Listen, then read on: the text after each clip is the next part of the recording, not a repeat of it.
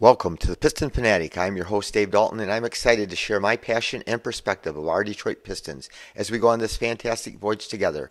I've been a die-hard Piston fan since the days of Dave Bing and Bob Lanier. I've also been the varsity basketball coach of a very successful program in northern Michigan. Well, Piston fans, we blew a golden opportunity to win the game tonight against the Denver Nuggets for our 12th loss in a row. The final score was 107 to 103 and Nikola Jokic, the MVP, was ejected with a minute 22 left in the second quarter. Got a second technical foul. He had uh, only nine points, five rebounds, and five assists at that time. It was a one-point game, so they played with him the whole time. We were we were only down by one. We did a great job of holding him down. Obviously, though, that enhanced our chances greatly to win the game. But somehow we just couldn't quite cut it. We had opportunities. We went the last nine minutes. We made one bucket in the last nine minutes of the game.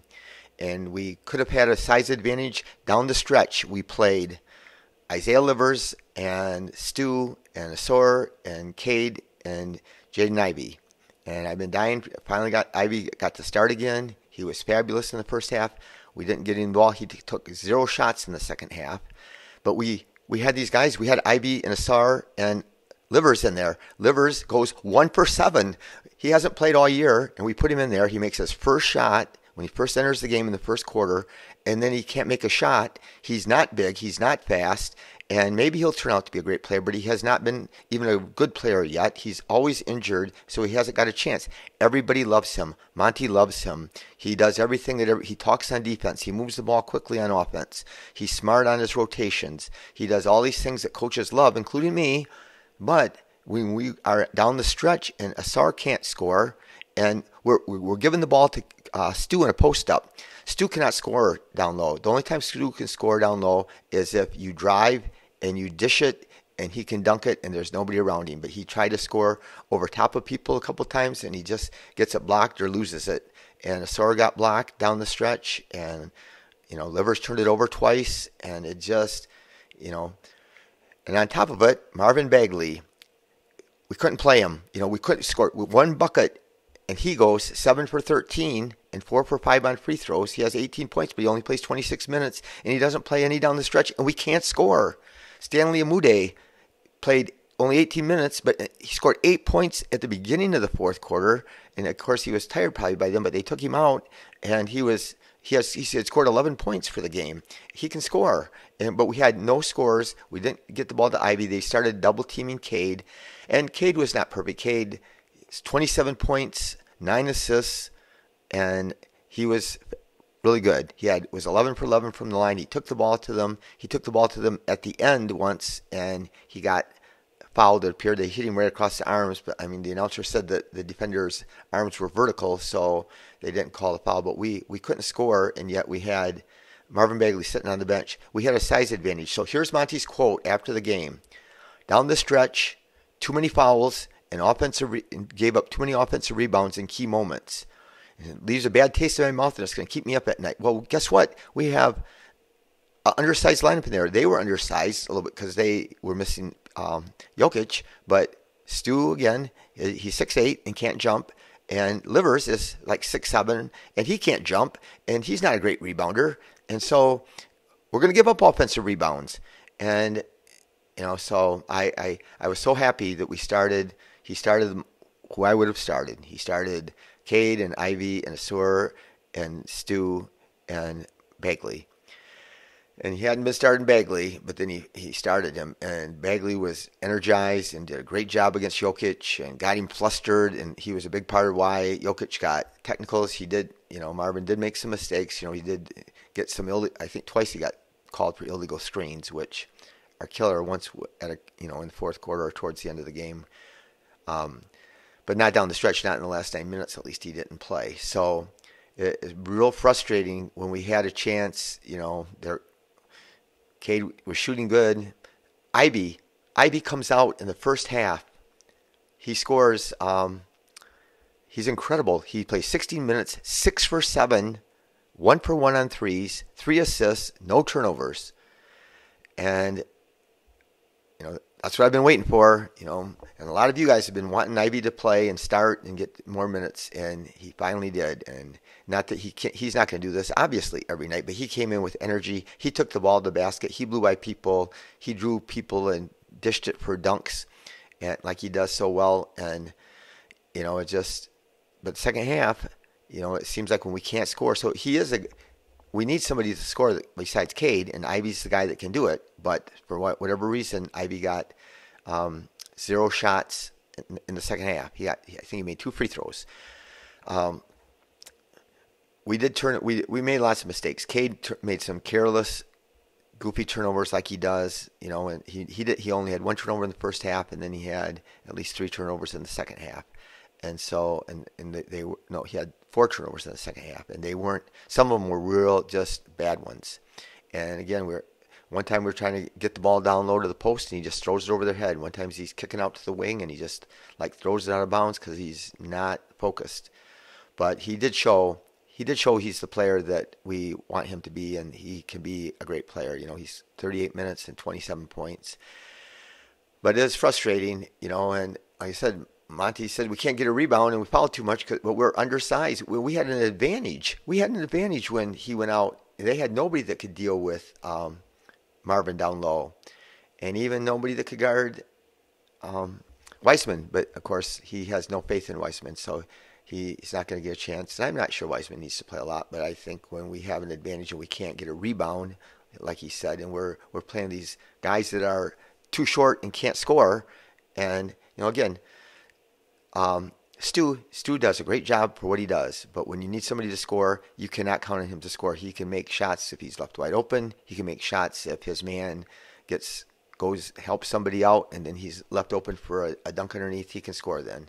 Same with Ausar. So we had Ausar in there, and he he only played 10 minutes. Ausar only played 10 minutes in the first half because he got three fouls. So he he didn't do what he normally does. He still got seven rebounds. He played 24 minutes, and he got two blocks. They were great blacks, and you know he he was four for ten, and they were I think all four of his shots were dunks, but we just can't play at that you know when we can't score and we don't have we play out there with three guys that can't score, and we have Marvin sitting on the bench who's got a hot hand, and it just was frustrating for me. I was nervous this whole game. You know, we were ahead, we were behind. We, we Cade made a couple of free throws with 11 uh, with three minutes to go and put us ahead, but we, we just did not score at, at the end of the game. We couldn't make a basket. So I don't know. It's 12 games in a row that we've lost. And but anyway, please subscribe. I'm know I'm real fired up. I forgot to say that at the beginning, but please subscribe. Just click on that. I appreciate it very much. We're getting close to a thousand. Um, so we um, got to turn around and we got to play in Indiana on Friday, so the guys get some days off, and it's very sad that you know I know as a coach when you have are disappointed and you have those days off, it, nothing, the turkey's not going to taste as good. I can tell you that much. But um, here's some other things. I, I get you know, I know people get tired of, oh, no excuses. I, there's guys on podcasts that are either acting like there's somebody died or that they're just ranting and screaming. One podcaster I know, and you know that we got to trade for somebody, and uh, you know, but you know, here's here's something, Troy Weaver. Why don't we trade for somebody as good as Jalen Duren? How about that? We would win some games. So uh, Jalen played with from um, the beginning of the season, October 25th to November 8th. He played in about eight games. Our Pistons were 17th in the league in defense and 20th in offense. So after that, he didn't play, and we all of a sudden now we're instead of um, 17th in defense, we're 27th in defense, and we're 24th in offense. So we just, we went down in both areas. We're 24th in offense instead of 20th in offense. So we went way down in both, and it's not surprising. He was a key, and even when he did come back and played some games after he got hurt, he wasn't he wasn't himself. So I'm glad I'm glad they're holding him out. I, am hoping he comes back Friday because that you know that I think that'd be a good time. He's been out quite a while, and unless he has even a twinge of pain, then don't let him play. I know Monte Morris is getting close. We still no word on Bojan, but what if we could trade for somebody as good as Bojan? That would be incredible but we have Bojan, and we don't have to trade anybody for him. What if we could trade uh, and get somebody as good as Monte Morris to stabilize our backcourt? We already have him, and they just need to play. They just need to get healthy. And I, I know it's not an excuse, and it's not an excuse that we're too young because we make those mistakes. They had these veteran players, Reggie Jackson and Caldwell Pope, two former Pistons, scored 21 and 20 against us. I don't know what you guys thought. Didn't it look like to you that um, Reggie Jackson had gained like 50 pounds uh, from the time when he played for the Pistons? He he looked like he was I don't know maybe it was the stuff he was wearing underneath his uniform. I don't know, but he looked pretty big. But um, those, if we got those guys, we don't need to panic and make a trade. If a good trade comes along and we can get something good, we should trade for them. We, but we don't have to give up, you know, any of our big assets. It's not time to panic. I mean, I, I understand what if you are, if you're panicked and you're frustrated, you are, and I'm I'm frustrated. That we had we should have won this game tonight for sure. And again, he started the lineup that I hoped he would, and then at the down the stretch, he went small. And, and we couldn't get a rebound. He said we couldn't get offensive rebounds at key times, and they scored on offensive rebounds and we had no interior defense because you know we don't have any shot blockers down there. So it's just disappointing. What if we could trade and get somebody as good as Jaden Ivey? Jaden Ivey, you did you watch him in the first half? He he was a rocket going to the rim, and he was one for one on three. So here's the vision, you know, with Cade and Ivey playing together, and we didn't get to see it enough, but there was a possession where Ivey drives to the basket. And I've been talking about this all the time. When Ivey drives to the basket, he draws people. He draws the gravity of the whole team, especially after he's made, driven in there two or three times. Everybody collapses. Cade's wide open for a three. He kicks it out. Cade makes the three. A couple possessions later, Cade drives to the basket. Everybody collapses on Cade. He kicks it out. Ivey's wide open. Three.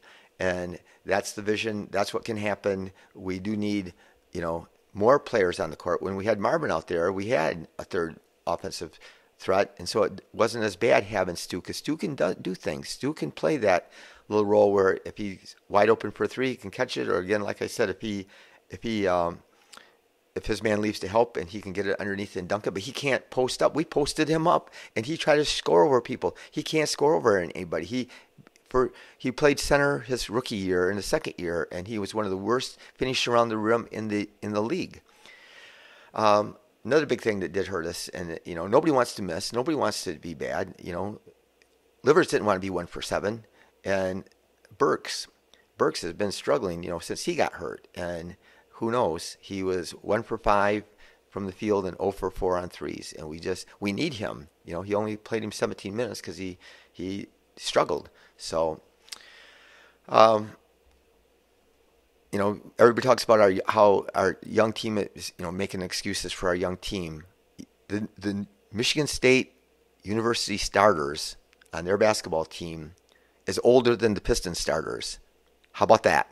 And you know that you know we you're tired of losing. I'm tired of losing, but those guys are going to make plays And they're going to get better and they showed some signs of getting better we throughout the game we we had some bad stretches where we missed a lot of easy shots and good opportunities to score and things just didn't quite click and then we did end up still turning it over 18 times which is too many especially you know we turned it over a lot in the second half but anyway like i said bagley played only 26 minutes 7 for 13 4 for 5 on free throws 8 rebounds 18 points and we had we made one bucket in the last nine minutes, and he couldn't find his way onto the court. We had mismatches. We couldn't get rebounds.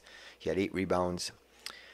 Ausar, 24 minutes, four for 10. I'm sure all four of his shots were dunks. He got blocked a couple times underneath. Um, seven rebounds. He had two blocks and a really good block. He blocked it right off uh, Porter Jr.'s head. It was really cool. Um, Stu, 34 minutes, four for eight. So he's been doing that. Stu's not forcing things. He's taking shots that are coming to him. He's shooting good percentage, one for two on threes, two for two on free throws. Really efficient. But his misses were when he tried to score down low over people when he can't. Or, yeah. So that's just frustrating. He he does try to play within himself. He had two blocks too, so that was really good. And 11 points. Cade again, 38 minutes, seven for 17, 2 for 4 on threes, 11 for 11 on free throws, which is awesome. Three rebounds, nine assists, three steals, one block, and he forced some other turnovers, especially in the first half. He was energized on defense. He was really hounding people and really making things happen, you know, for us on defense. He didn't, you know, I think he probably got a little bit tired at the second half, but again, his he had four turnovers in the second half, and that and some of them were just reckless. So, Livers, 23 minutes. He was on a minutes restriction.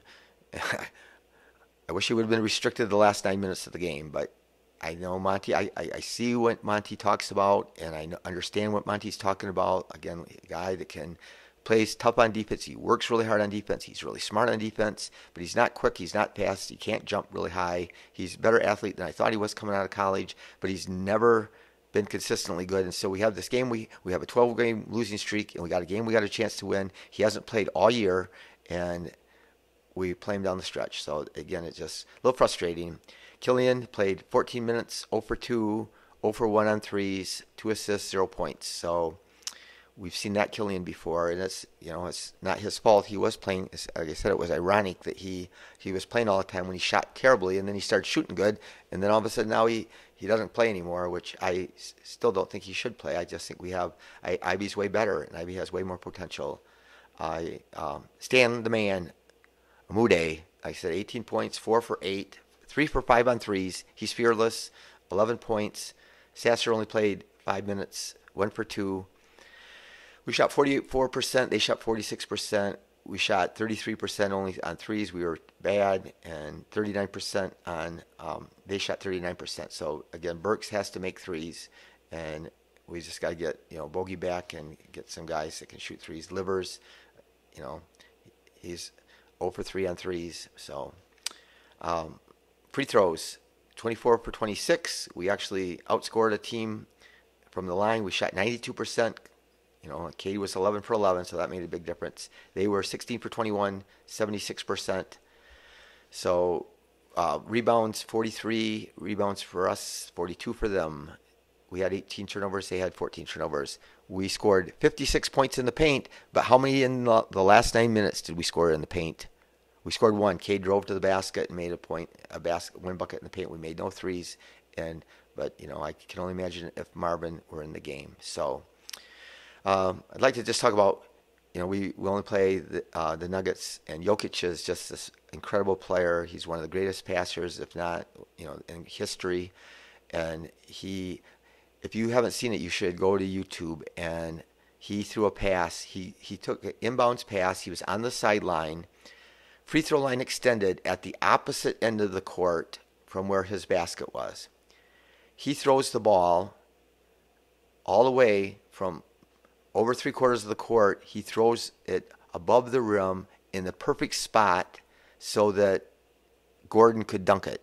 It was the probably had to be the greatest pass I've ever seen. Another thing about Jokic is two guys in history um, average 20 points have averaged 20 points a game, 10 rebounds, and five assists for their careers, and it's Jokic and Larry Bird. And Larry Bird could pass a lot like Jokic. If Larry Bird touched the ball as much as Jokic, I think he would have even better numbers than he did have. Plus, he had a bad back and he played four years in college. But anyway, he was. I hated Larry Bird. I, you know, we had a big rivalry with the Celtics back then. Um, but you know, again, we play the Pacers on Friday, and then the following Monday we play the Wizards. And the Wizards, they can, you know, we. It's going to be hard to beat win at the Pacers. We certainly can win, especially if we do some things like we did tonight. And Monty gets his um, you know, rotations settled in and figured out some things. And, um, but the Pacers still, you know, they're they're at home and their offense is really rolling. They're still, like I said, they're one of the top offenses in the in the NBA. And then, but if we don't win by to the Wizards, then, you know, that's a game that we should win. But they still can beat us. So anyway, again, please subscribe on YouTube and leave a thumbs up. Comment. I love your comments we got a lot of really bright um, listeners, and be the reason someone feels loved and cared for. And I hope you have a great Thanksgiving if I don't come on before then. And again, just be grateful for all that we have, even the 12 game losing streak. Go Pistons.